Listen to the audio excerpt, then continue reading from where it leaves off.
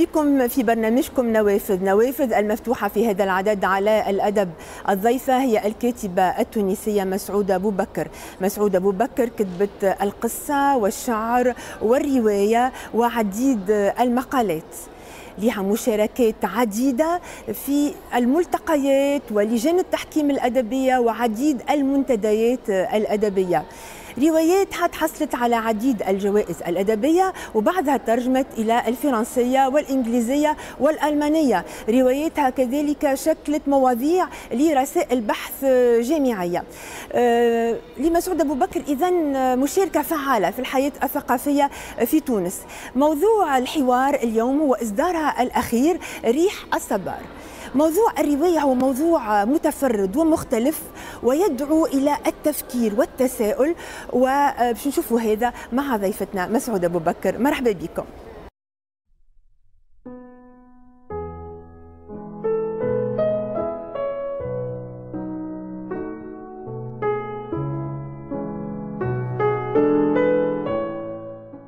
مسعود أبو بكر مرحبا بك في برنامج نوافذ باش نحكيو على إصدارك الأخير روايتك ريح الصبار السؤال الأول باش يكون نقطة البداية نقطة الانطلاق. شنو هو اللي يخليك تكتب رواية بهذا الموضوع؟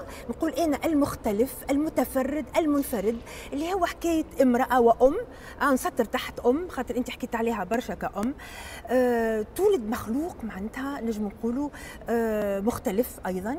أه أنت سميته مسخ في في في, في بروايتك ولكن مخلوق تحبه برشا الأم أكيد الأم. أكيد حتى ولو نعم. هو مسخ بين بين معقفين. مع بين معقفين. نعم.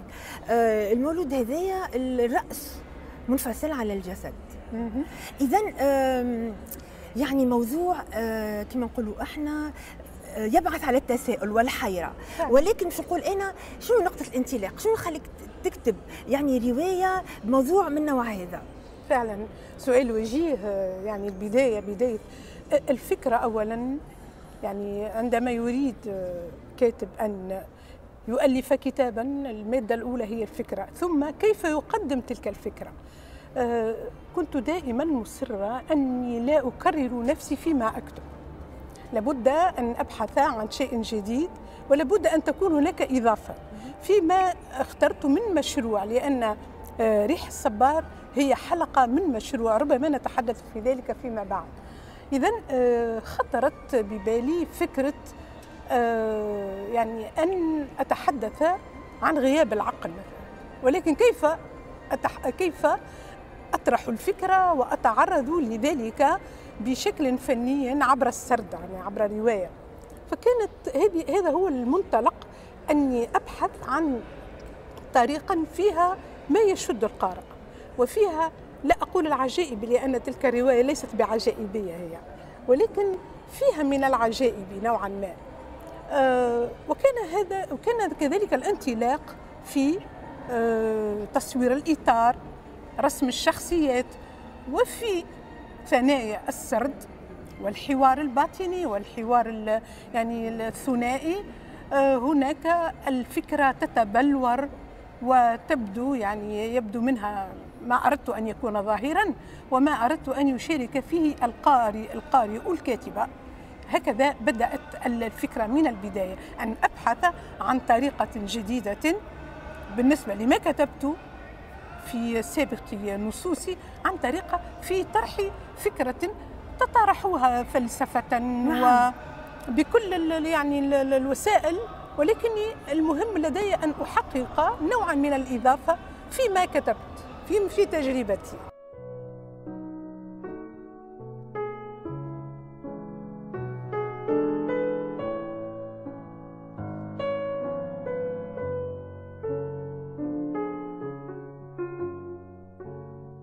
إذا مسعود أبو بكر الموضوع الأساسي لروايتك ريح الصبار كما أنت قلت هو غياب العقل غياب العقل في المجتمع التونسي ونجم نقولوا إحنا نعموا في المجتمع العربي. هذا نجم نلقاوه في شخصية حماد صفية المرأة هذه الباحثة الباحثة في الآثار وكيفاش هي فسرت فسرت الزهرة هذه الغريبة اللي حصلت لصفية المخلوقين هذوما. اذا هذا هو معناتها مسعودة نجم نقولوا إحنا نلخصوا مثلا بالنسبة لحكاية غياب العقل. سؤال فعلا مهم لأنه يلمس المقصد الذي أردته في هذه في هذا الموجز في هذه الرواية. يقول ابن هانئ الأندلسي مما دهانا أن حاضرنا وجداننا والغائب الفكر. يعني عندما ننظر ونتأمل في الواقع الاجتماعي قبل الواقع السياسي وقبل الواقع الاقتصادي سنرى في محطات كثيرة وفي مواقف كثيرة وفي كثير من الأحداث أيضا غياب العقل غياب الرؤية الموضوعية غياب المنطق خاصة عندما تكون هناك قلاقل ويكون هناك يعني أحداث أحداث لا نستطيع أن آه، نحددها إلا بعد أن تمضي فترة عن اندلاع تلك الأحداث. وبالتالي تختلط الأمور ويغيب التبصر وتغيب الأمور المنطقية ويغيب يعني وهذه كل هذا نلمسه. سواء في الأحاديث التي ننصت إليها عبر وسائل الإعلام. يعني عندما ننظر إلى كل المستجدات وكل ما آه، يكتب أو يقع سواء في وسائل الاتصال الاجتماعية أو في بعض تلك الجلسات الحوارية التي نطالع نقرأها ونتابعها في الوسائل الإعلام البصرية السمعية. يعني نجد غياب ما يسمى بالمنطق. يعني غالبا أتحدث غالبا يعني غياب ما يساوي ما, ما, ما, ما نلمس فيه المنطق والموضوعية والعقل. بتنا نطرح أسئلة لا تمت إلى العقل بصله ولا يقبلها الوعي. نعم. ولكن طفحت في هذه الظروف التي آه، يعني أفرزتها الثورة. وقد أفرزت أشياء سلبية يعني ما لا يستط... ما لا نستطيع أن نطوقه. إلى جانب طبعا هناك أنا لا أنكر يعني وجود الإيجابيات ولكن إلى جانب ذلك عندما أنظر إلى الأسئلة وأنا دائما أنطلق من أسئلة وأنظر إلى الأسئلة لكي اسس مبحثا للجواب. أنا أبحث عن جواب وفي هذه الرواية بحث عن الجواب. لماذا؟ عندما أتأمل ما يحدث على كل المستويات أتساءل ألا تكون هناك قوى يعني في الخلف تحاول أن تطمس العقل بشتى الطرق. فعلا هناك قوى تريد أن تطمس العقل تريد أن لا يكون هناك وعي لأن الوعي والعقل سيفضح مخططات وبرامج كثيرة. نعم. يعني مشكل ف... مسعود أبو بكر مشكل فلسفي وحضاري ربما إحنا نقولوا غياب العقل ربما يفسر التأخر اللي إحنا فيه كشعوب عربية أو كحضارة عربية إسلامية. نعم. يعني التاخر اللي إحنا فيه توا أه؟ فربما غياب العقل غياب النقد غياب التساؤل حول أنفسنا وحول الآخر آه، آه، غياب التمحيص أيضا في تاريخنا وإعادة قراءة فما تاريخنا عظيم لغتنا رائعة فما كتب مهمة أمهات الكتب ولكن نتساءل الآن كيف نتعامل مع كل هذه المصادر وكيف يعني نحدث الحداثه كما هما الأوروبيين عاشوا الحداثه إحنا لم ندخل إلى حد الآن إلى ربما الموضوع هذا فالموضوع متفرع وهام جدا. هناك من يأخذ من التاريخ ما هو قريب وما هو سطحي وهناك من يغوص في العمق. ولكن ما لاحظناه للأسف الشديد أن التناول يعني والرؤية إلى التاريخ كانت سطحية. فنحن لم نأخذ ما فيه عبر ما فيه عبرة وما نبني عليه. لا نقف عند حدود ما أخذنا وإلا فلن يكون هناك تطور لن يكون هناك نمو وهذا في حد ذاته عقبة من عقبات التطور ولا يقبل بها عقل. ولكن عندما سلكنا هذا المسلك نحن لم نحكم العقل.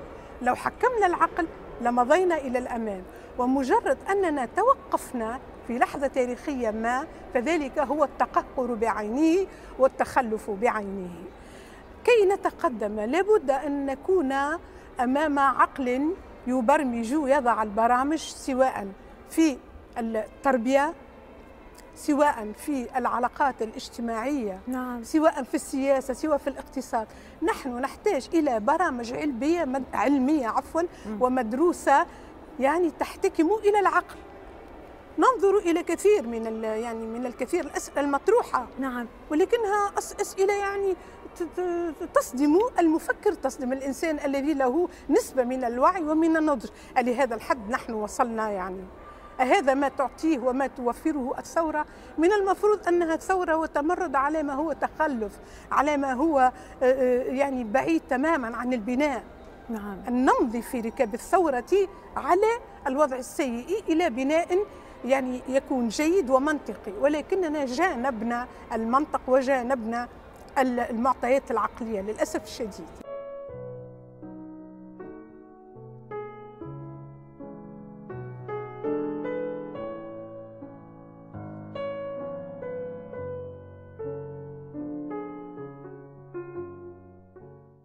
ريح صبار هو حلقة من سلسلة بدأتها مع رواية الألف والنون عندما تعرضت لمسألة الإرهاب وما يعني وما وثورة الخبز والفاضل ساسي رحمه الله وتلك الملابسات. يعني كل تلك الأسئلة التي واكبت تلك الحقبة وفرار البطل الرئيسي الألف والنون إلى باريس ويعني وطرحت الوضع بصفة عامة عبر المتحاورين. آه، وضع الوطن العربي وتلك القلاقة التي عشناها ونعرفها. آه، عودة إلى الوطن إلى تونس ثم تلاها يعني مجموعتان قصصيتان وكتابان في النظر فيما وقع يعني في بعد اندلاع الثورة الثورة التي آه، من مزاياها أنني كتبت ستة كتب. في السرد وتطرح الأسئلة التي تولدت من ذلك الوضع الذي عشناه بسلبياته وإيجابياته طبعا الفكرة الثورة كفكرة يعني وكمضمون وكمبدأ مهمة جدا ولكن الذي يبعث على التساؤلات كيف تقبلناها وكيف تعاملنا معها وهل حاولنا أن نستغلها وأن ننظر إلى الإيجابيات التي وفرتنا لها يعني حدث تاريخي مهم. نحن جانبنا كل ذلك وملنا عنه إلى أمور جانبية كان فيها ضياعنا وكان فيها يعني الابتعاد عن العقل وعن المنطقي وعن كل ما هو يبعث على التفكير. لأنه اتضح أن هناك قوى كما سلف كما أسلفت تبحث على طمس هذا العقل وهذا التفكير. عندما نتأمل في كل ما حدث نجد أن هذه القوى موجودة والعيب فيها وليس في مفهوم الثورة. إذا هذا بعد مجاميع قصصية وبعد كتابات في يعني في التأمل وفي النصوص مطلقة وبعد رواية الألف ونون إذا هو مشروع ولست أدري ماذا سيأتي فيما بعد. لا رفة شوق. ولا أجرس ذكرى ولا عصف لوم ولا ريح عتاب ولا إشارة إلى وجوه تركتها هناك مع مرحلة من العمر وسمها الابتلاء والقلق. شعرت بمرارة في الحلق فانتبهت إلى ضرورة أن أظل هادئة وأتحاشى ما من شأنه أن يشرخ ثباتي. استطعت طيلة أيام الغربة نسيان أني امرأة عشت لأكون أم العجبين كما كناني الرأس. ليس كأم عادية ولا صفي الريان. كتمت في داخلي كل ما يحتاجه جسد امرأة في شرخ وعيها بجسدها. أسكت فيه رغباته واختلاجاته ونزواته وعطشه وانكساره وشعوره الفاتك بالفقدان. كل ذلك أمام العمر غير الرحيم والمسرع في موذيه يطوي أيامي طيا يدوس على أحلام شتى أجهضت. طموحات وئدت رغبات جفت فبات جميعها يشبه ذبال الحديقه عند جذوع الأشجار. لا تحتفي بها سوى الديدان. لا يمكن للزمن أن يدرك مهما أوتي من صولة بشاعة تلك الديدان التي تعمل بصمت في فياف الروح ابان اغترابها نرجع للقصة ولا البناء الروائي للقصة. قصة فيها زوز اصوات فما صوت الرأس المخلوق هذايا اللي هو يحكي آه، على آه، مشاعره على علاقته بالجسد علاقته بامه آه، مخاوفه من المستقبل نعم. وصوت الأم المرأة هذه الباحثة الأم اللي هي باش تحاول بعد 15 سنة تلقى حل باش تجمع الراس بالجسد و نعم. باش تكون هي عاشت يعني أشياء وعذابات كبيرة المرأة هذه. صحيح معاناة صحيح. معاناة كبيرة نعم. آه ومن يعني ننتظر منه معاناة كتلك إن لم تكن الأم. الأم هي أساس كل شيء. هي مع الوطن متوازية الأم والوطن. هناك يعني كلنا نعرف حكاية المدينة الفاضلة. هي حلم في رأس مفكر. يعني كان يحلم بمدينة فاضلة فيها قيم وفيها يطيب العيش والإنسان في مرتبة آه، غير دونية. نحلم جميعا بهذه الأفاق ليس بالطوبويه ولكن بالأفاق التي تسمو بالإنسان قليلا. أنا أيضا حلمي دماغ إنسان يخرج من مطهر ما هكذا بصحيفة بيضاء ويتعلم يتسلح بالعلم نعم. وينظر للحياة وينظر للطبيعة الكتاب الأول في المعرفة والعلم ثم يطرح أسئلة وبتلك الأسئلة يصل إلى درجة من فهم ما يحيط به ثم يسأل عن ذاته عندما يعني يحصل على هذا الزاد المعرفي سيتساءل عن وضعه وعن تلك الملابسات التي تحيطه وكان العجيب هذا الشخصية لأنه يعني هناك هذا التوأم إن شئت الذي ولد منفصل عجيب الرأس وعجاب هو الجسد وهي أم العجبين نعم. يعني فهما في الحقيقة يعني هو سميها أم العجبين أم العجبين فعلا نعم.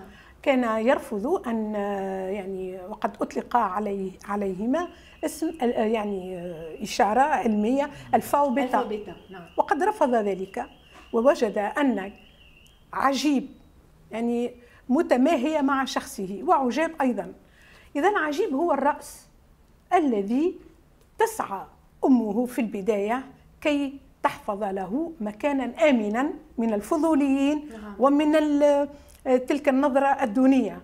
وكأنما يعني ذلك الفضول الذي لن يتركه يمضي إلى الأمام.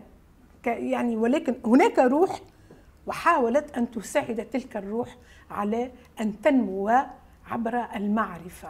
فوفرت له ما يساعده على المعرفة. طبعا هناك المخيال يعني الفيكسيون هناك هناك حكاية.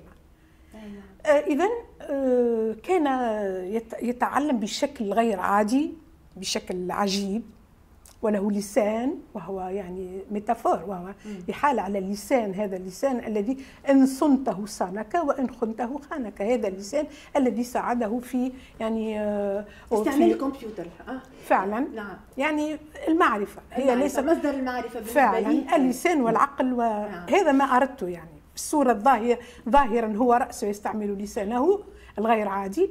ولكن في الباطن والذي أريد أن أقول هو اللسان الذي نعبر به والرأس حيث العقل والذي يعني نفكر به ونستدل به على حقائق الحياة والوجود. مسعود أبو بكر باش نحكيو على الوصف في آه، روايتك ريح الصبار. فما إسهاب في الوصف وصف آه، الطبيعة من ناحية ثم وصف الأحاسيس والمشاعر اللي خاصة الأم صفيه ريان والمخلوق الرأس. يعني شنو اللي يجيهم من افكار واحاسيس وكل المعاناة لهم الاثنين. يعني هذه أمور تدخل في أسلوب الكاتب. نعم. يعني أنا أميل دائما إلى الوصف فهو آلية مهمة جدا في السرد ويعني آه، أريد أن أعطي للمتأمل بالباصرة أيضا أن يتخيل ذلك الإطار الذي عاش فيه آه، عجيب وذلك المكان.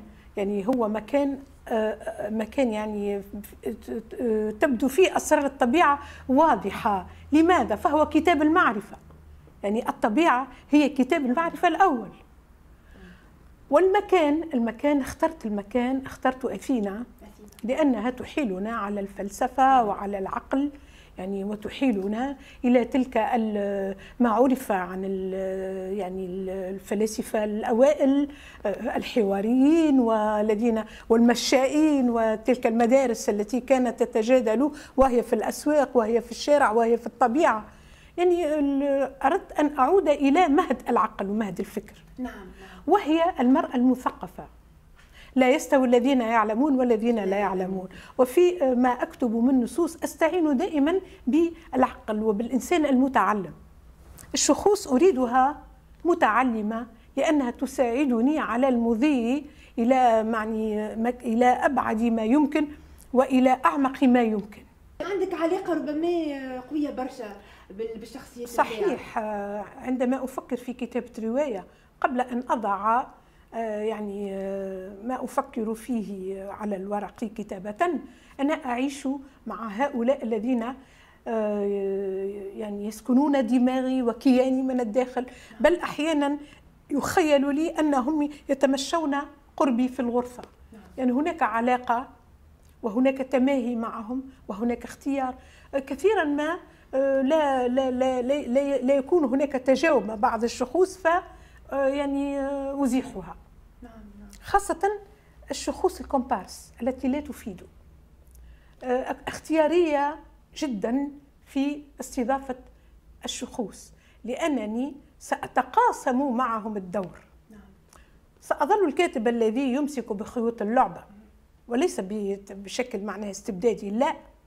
ولكن هناك يعني كل شيء بحسبان في تلك العلاقة التي تجمعني بشخوص النص وهم في العادة شخوص رئيسية وثانوية يخدمون الشخصية الرئيسية. آه، كشخصية صفية مثلا وما نعم. نعم كل معاناة نتاعها فعلا. كامرأة وكأم. حتى تلك الشخصيات و... الثانوية التي يعني وجدت صديقتها التي تسألها عن تلك الرحلة التي ستقوم بها كذا والتي معناها تشير إلى حياتها الزوجية غير الناجحة. هذه الشخصيات تخدم تخدمني ككاتبة في نحت الشخصية الرئيسية. مسعود أبو بكر هي العربية. العربية نتاعك هي عربية متينة عربية رائعة جدا.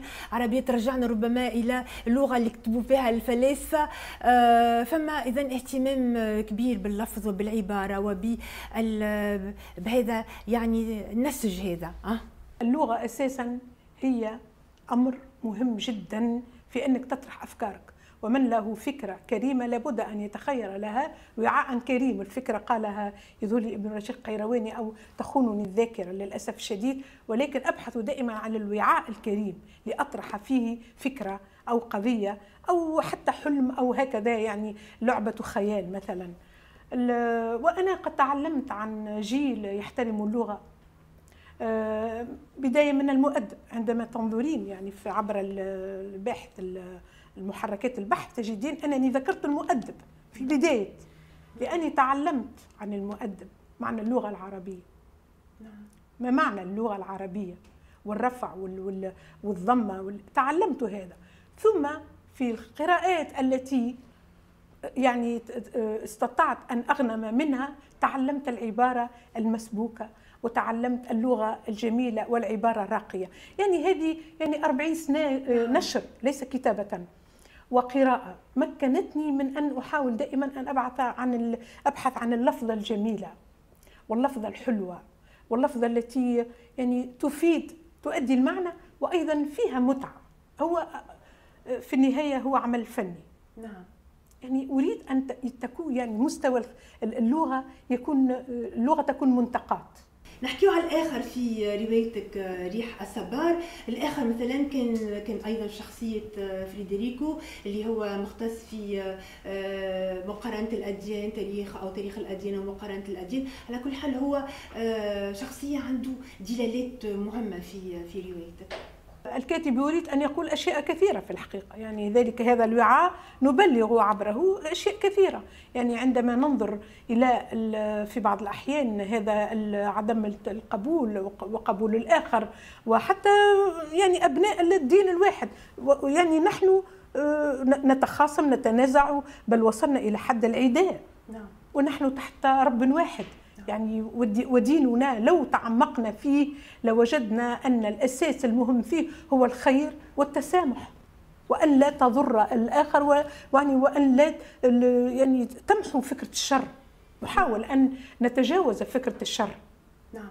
هذه هي نعم. يعني هذا الذي هذه الشخصية هو إنسان يعني متدين هو مسيحي. ولكن منفتح عن الديانات الأخرى وله أصحاب. يعني هذا يذكرني هذا الشخص يذكرني بجون فونتين رحمه الله. فهو صديقي وكان له أصدقاء بين يعني المتدينين بين معناه شخصيات في الشيعة وفي الكل يعني يقول لي كان دائما يقول عندما أزوره في مكتبه أنا صديق كل الطوائف يعني المهم أننا نبحث عن حقيقة ونتفاهم ونتعاون في البحث عن الحقيقة. ونؤمن بإله واحد. أليس أجمل من هذا؟ نعم. إذا هو الوجود في فيديريكو في هذا الرواية هو ذلك الرقي الإنساني الذي ينظر إلى الإنسان ويلتقي معه في مستوى المعرفة والعلم. وذكرت منذ قليل لا يستوي الذين يعلمون والذين لا يعلمون. معناها محاولة الرقي بالعلم. لماذا؟ لكي نواجه الأمية ونواجه الجهل ونواجه ذلك التعدي على القيم الجميلة والسمحة التي يأتي بها الدين. يعني هذا هو المهم.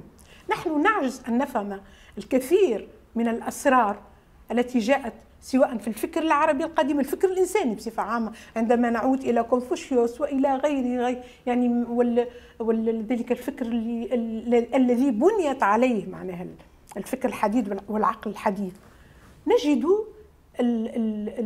القيمة الكبيرة هي الخير وحب يعني وتلمس الحقيقة. فما نوافذ عديدة حليتها في روايتك ريح الصبار نوافذ حول الأدب العالمي الأدب العربي طبعا ثم الأدب والروايات آه، الفرنسية أو من لغات من لغات مختلفة. كل ذلك هو من مخزون الكاتب. وكل يعني عندما آه، نلاحظ مثلا حرفي. نجار. هو يتحدث بلغة حرفته. التيرزي مثلا يتحدث بلغة حرفته وآلياته. الكاتب ما هي لغة حرفته؟ هي الكتاب والعبارة. وتلك الكتب هي التي تسندني مما غنمت يعني مما غنمت لأننا نبحث والموسيقى أيضا. والموسيقى. الفنون تلتقي نعم لا نستطيع أحيانا تقرأين فقرة فكأنما تنصتين إلى مقام مقام في البيات أو السيكا أو السيمفونيا يعني نعم نعم. في بعض الأحيان يعني هناك من يكتب على إيقاع التانجو. صحيح. يعني هذا موجود ولمسته وأنا منصفه أكثر روايات توصل توصلنا يقولوا فيها موسيقى. أكيد. موسيقى هكا خافتة توفرها العبارة نعم. وتوفرها الصورة والمخيال. مم. كل ذلك يتآلف ليصنع موسيقى داخل النص. ولا نستطيع أن لا نهتم ولا نستلهم الفنون الأخرى لبناء فن من الفنون وهو الكتابة. يعني هناك تصادي وتناغم. مسعود أبو بكر شكرا ليك. آه، البرنامج هذا هو دعوة للقراء التوانسه باش يقرأوا روايتك ريح الصبر اللي تدعو إلى عديد التساؤل. وثم هي كما قلت انفتاح على الآخر ونوافذ مفتوحة حول آه، نقول أنا الإنسانية بكل جمالياتها. شكرا لانتباهكم ومتابعتكم وإلى اللقاء.